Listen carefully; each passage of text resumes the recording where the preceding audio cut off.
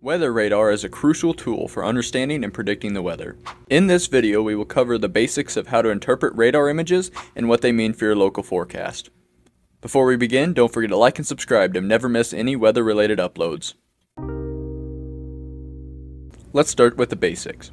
Weather radars work by emitting pulses of microwave energy and then detecting the energy that is scattered back by precipitation particles in the atmosphere. When these pulses encounter raindrops, snowflakes, or hail, some of the energy is reflected back to the radar. This reflected energy is then processed into images that meteorologists use to monitor and forecast weather conditions. Here's what you might see on a typical weather radar display. The areas of precipitation are represented by different colors, indicating the intensity of the rainfall, snowfall, or hail. Another tool weather radars provide is velocity radar. Velocity radar measures the speed and direction of particles within a storm. This feature helps meteorologists identify rotation within storms, which is critical for detecting tornadoes and other severe weather phenomenon.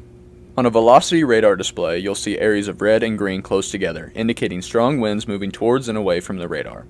This pattern, known as a rotation couplet, can signify strong rotating updrafts and possibly tornado formation. Additionally, the green indicates winds going towards the radar and red is winds going away from the radar. When utilizing velocity radar, pay attention to these rotation signatures. They highlight areas of concern where tornadoes may be developing or already occurring. Meteorologists use velocity radar to monitor severe weather in real time, providing critical information for issuing tornado warnings and tracking storm intensity. Storm chasers and emergency responders rely on velocity radar to navigate safely during severe weather events and assess potential risks. Understanding radar motion is key. The movement of precipitation on a radar screen gives valuable insights into the direction and speed of approaching weather. For example, radar loops display how precipitation is moving over time. This helps forecasters predict when and where rain or storms will arrive. Notice how the echoes move. The direction they're coming from tells us where the weather is moving. If they're building up in intensity, that could also indicate a developing storm.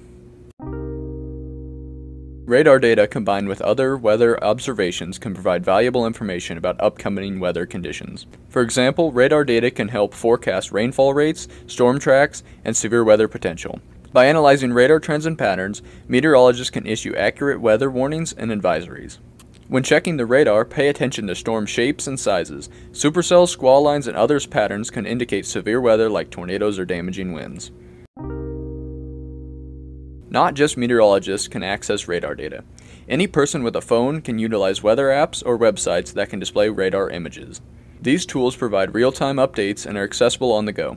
Some of the best mobile apps for radar include RadarScope and Radar Omega. Understanding radar can help you plan and manage outdoor activities and stay safe during severe weather events.